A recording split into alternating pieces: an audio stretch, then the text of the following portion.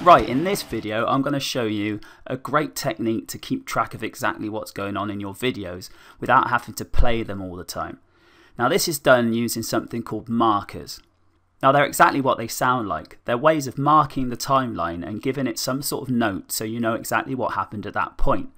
This is especially good if you're coming back at a later date to add some sort of effect or maybe a background change, something like that, even if you're adding some audio at a certain point. It helps if you've got markers, rather than having to listen through the whole thing again to find out where that point was.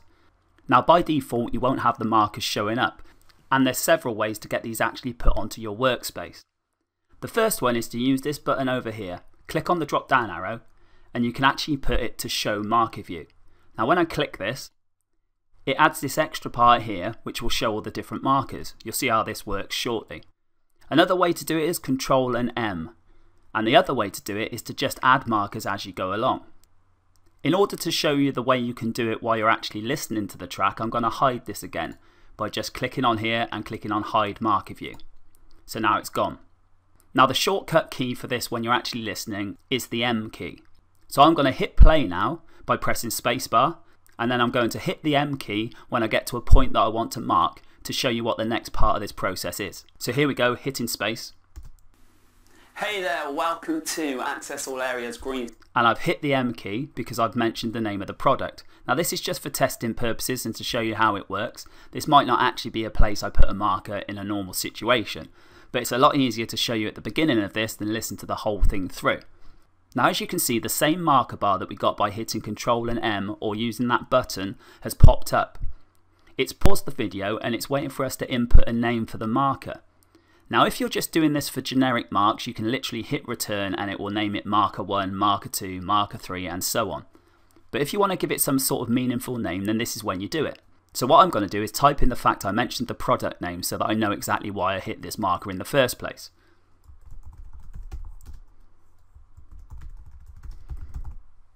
So there we go, mention product name and hit return. Now I've got a marker on there that means I can come back at a later date and I can actually put whatever it is I wanted to put into this part of the timeline. Now if I hit space again, Screen it'll carry on playing. Thank you for joining me on the inside of this membership. And I can hit M again and it will come up with another marker and so on and so on. Now it's not just about marking where they are. It also means you can put the playhead directly to that point just by pressing Control and the square bracket either backwards or forwards. So if I was further on in this video, which I'll do now by clicking inside the playhead bar here, I can now go back to any marker I've done by pressing Control and the square bracket and it will hop back to the last one and likewise back to the first one and back to the second one. All I'm doing is I'm marking places in the timeline to make it much easier for me later on. Now you'll probably have noticed that what's happened is a green diamond has appeared just here to mark the fact that this is a marker. As well as the keyboard shortcut I've just told you, I can also just double click on it to take the head directly to that place. If I want to rename it, I can click it to highlight it, then hit the F2 key, and I can type in a new name. So I'll rename this product name, and hit return. Now when you've got a green diamond, this means it is an overall timer marker, and it's actually attached to the main timeline, not the actual video timeline. Now, to explain that a little bit better than that, what I mean is if I now go and move the video below it, like this, I'll just highlight those so I can drag them, and I move them, you'll see that the marker actually stays where it was. So this is actually attached to the timeline itself, not the video clip. Now that's fine if you're trying to mark an actual time within your video, but if you want it to be attached to the actual footage, let me just put this back where it was, then what you can do is you can actually click in this little bar above the actual video footage to turn it into a blue diamond. Now this blue diamond is actually attached to the video clip, not the timeline in general. So now when I move this, the marker moves with it.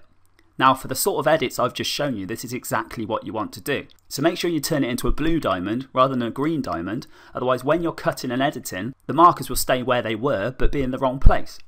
When you get into more involved editing and you've got all sorts of layers going on with audio and different clips and different cuts, this is a brilliant way to make sure you keep on top of all the things you want to do. While you're listening, if you hear something you think, ah, that's something I need to come back to, hit the M key, name your marker, and then you can come back to it later. Make sure it's attached to the actual video clip by clicking in that tiny little bar above, just here. And then you can come back to it later. This saves having to remember where everything is, especially when you're getting more and more involved with bigger edits. So hopefully you can see how this can really help when you're putting together your videos, saves you having to remember all of that information all at once. It's something that not everyone uses within Camtasia, which is silly because it makes it so much easier. So I'm glad that I've been able to share this with you and I'll speak to you in the next video.